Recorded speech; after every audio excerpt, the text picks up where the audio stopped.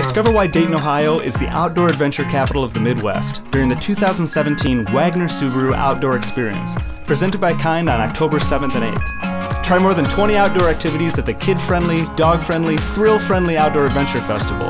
Live music, food trucks, intense competitions, overnight camping, high flying demonstrations, and more fun for the whole family continue all weekend long at Eastwood Metro Park.